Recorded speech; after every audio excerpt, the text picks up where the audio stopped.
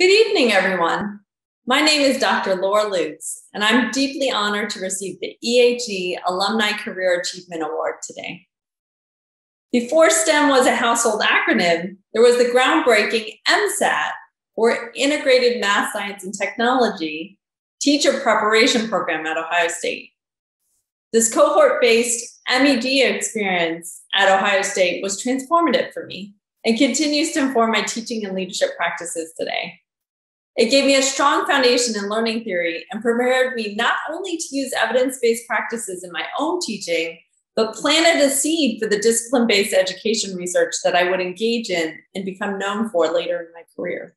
The unique cohort experience of the program also encouraged me to be a resource and a model for other educators, preparing me to become the STEM education leader, faculty developer, and community builder I am today.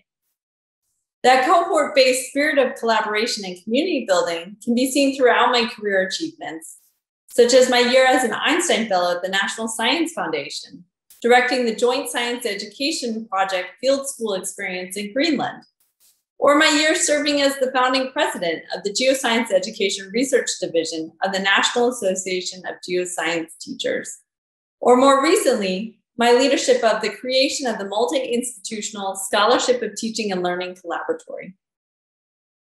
Again, it is a tremendous honor to be recognized. Thank you to the selection committee and Mary Stepanek for nominating me.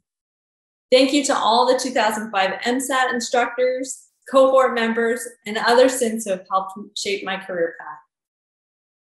Thank you and congratulations to the other awardees being recognized tonight.